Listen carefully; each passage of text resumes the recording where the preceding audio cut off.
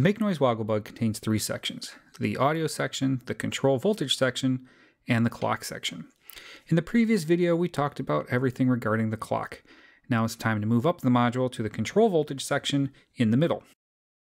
The CV portion of the module features three outputs, two knobs, and two inputs. We'll start by describing the outputs with nothing patched into the module, and then work our way to the left through the controls and then to the inputs.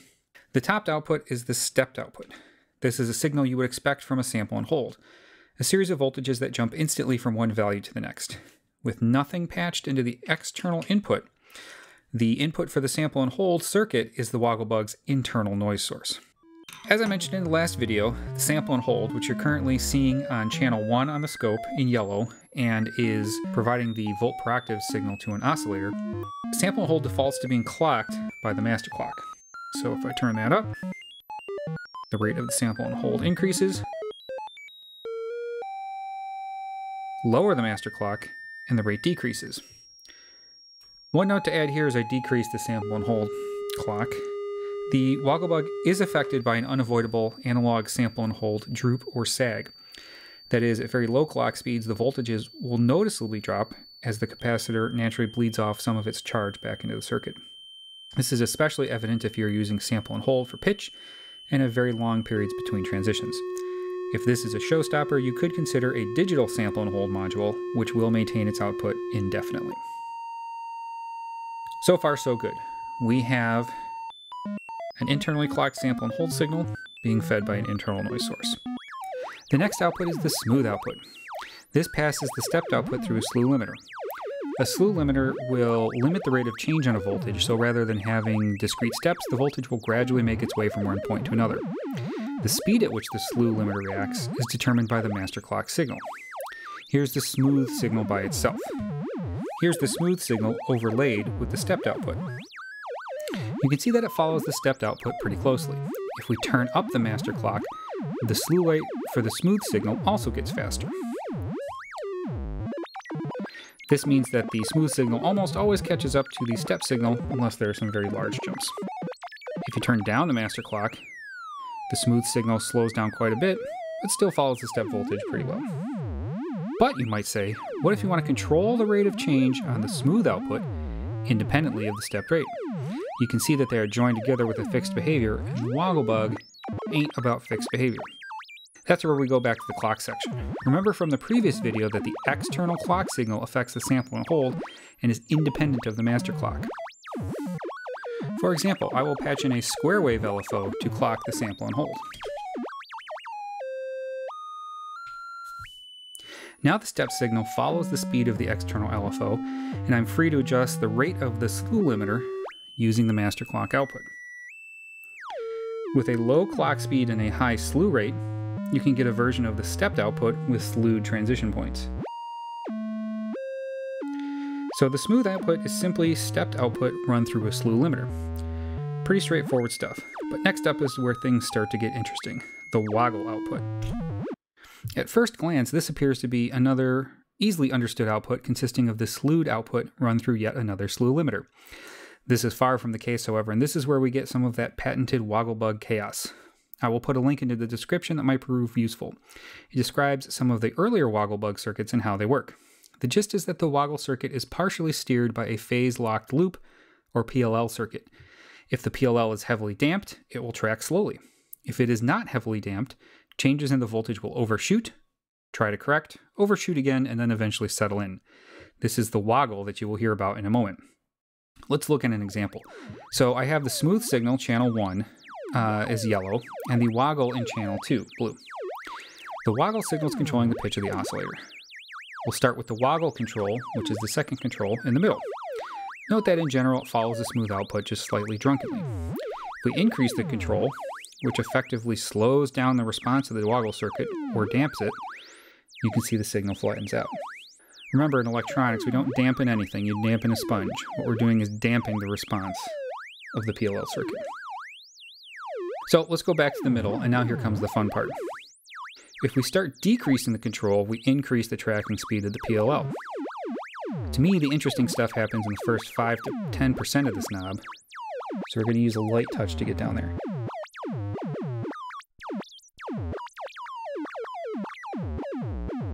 As we approach the bottom end of the knob's control, you can hear small vibrato-like fluctuations in the pitch. At this point, I'm just barely off of fully counterclockwise. If I turn the knob fully counterclockwise, you can hear the chirping noise that gets introduced, and what I would consider to be a signature feature of the Wogglebug. Basically, you get small bursts of FM when controlling pitch. You get these little oscillations that occur uh, after the transition points. We'll come back to the Wogglebug output in a minute because that has a few more tricks up its sleeve. Let's go back to the top of the module, specifically the Ego id control. This particular control will affect all of the outputs. This is also effectively where you impart your will on the Wogglebug. The Wogglebug is kind of like a partner. It's doing something and you do something. If you want to completely crush its spirit, you turn this knob all the way to the left. The Wogglebug gets sad and effectively drops down to no output whatsoever. Turn the knob up, you're listening to what the Wogglebug has to say. This particular behavior is pretty important for a number of reasons that we'll get into uh, both here and in the audio section. But for now, let's just look at what this control does with nothing patched into the external input. Once again, we're listening to the stepped output that is feeding the volt per octave input on an oscillator.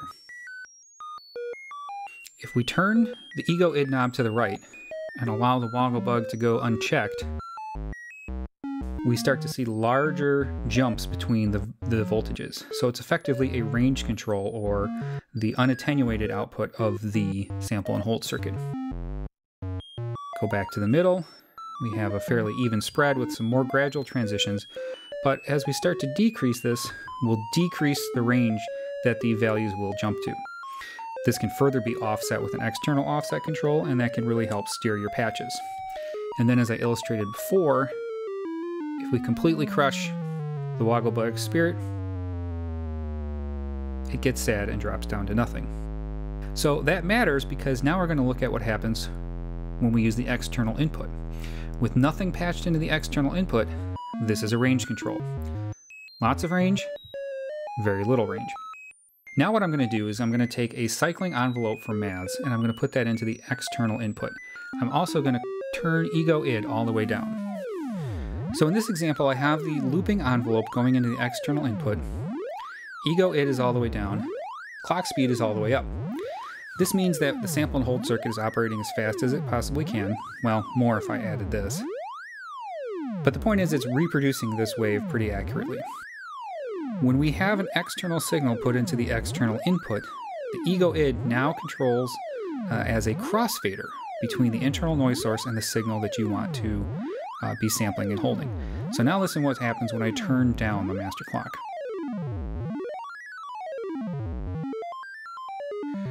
Okay, this is a very traditional sample and hold stepped output going to the VCO uh, pitch input.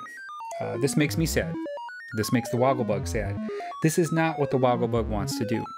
So what we're going to do is start increasing the ego id control to crossfade between the external input and the internal noise source. So here you can see some randomness overlaid with the envelope that we've patched in. Um, the Wogglebug is a backseat driver, but not really in control. Here in the middle, we start to actually lose our wave, but it is there if you look and listen closely. Uh, here the Woggle Bug is kind of trying to grab a hold of the wheel, but we're still doing stuff. We turn this all the way up. The external signal is completely faded out, Wogglebug is in our lap, it's steering, we're just working the pedals and hoping everything turns out okay. Finally, we get to the enigmatic influence input. This little guy is a little hard to understand, but it's very important for some of the more advanced features. Uh, I'll read verbatim what the manual says, but even that doesn't tell us the full story. Influence input, CV and or audio signal input that performs the following duties. Modulates frequency of the smooth and woggle VCOs, inputs to the ring mod circuit, and level shifts the woggle CV control, responds 0 volts to 10 volts. So for this example, I will go back to the previous setup where the Woggle Bug is on channel 2 of the scope and in blue. The smooth signal is in yellow. Uh, what we're hearing is the pitch being modulated by the woggle control. So, the influence input. Uh, we're going to add an offset from the maths next door. Uh, only positive voltage will have an impact.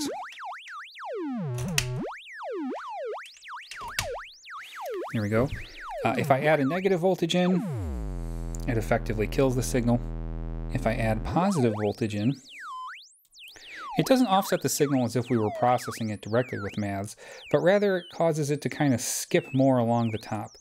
So the further I increase it, kind of the bigger those jumps are as it sort of maxes out the offset and uh, only really responds to some of the bigger dips. So that can be useful, but that's not really what we're here for for the influence circuit. Next, we're going to continue to monitor the woggle circuit output, but I'm going to plug a different signal into the input. Now recall from the manual that it says it responds to CV or audio. So what I'm going to do is I'm going to take the LFO that I had patched in before, and I'm going to increase that to an audio rate.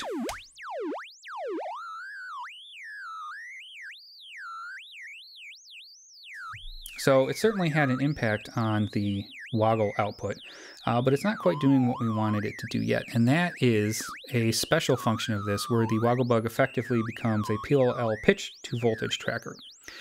Now, in order for this to work, what we have to do is completely subjugate the Wogglebug, as I described before. And this is the key to the influence input for both this function as well as controlling the VCO. We're going to take the ego id knob, just really crush the Wogglebug, and it's going to go down to sit there in the middle. Now, what I'm going to do, and you can't really see below, is change the pitch of the oscillator that's going to the influence input. I raise the frequency of the oscillator, and that raised the voltage out. I lower the oscillator speed, lowers the voltage out. So what we have is pitch to CV, a feature that the PLL circuits are used for. Now this doesn't track uh, 1 volt per octave because Wogglebug, uh, but it can be used to have an audio source create a control voltage for something else. Now the woggle control still has an impact here. If I turn this all the way up to slow down the speed, it effectively slews it. So right now I'm doing fairly fast changes, but you can see that the jumps are heavily slewed. Further, if I drop this all the way down, the circuit becomes unstable, starts to begin track faster, and the areas of transition and some voltage will cause those chirps to happen. As I mentioned, we'll use this influence again later uh, in order to steer this um, pitch of the audio outputs, but that'll be in the next video. So that is the Wogglebug CV section. Remember, this ego id control all the way to the left is your input or external. All the way to the right is id or internal.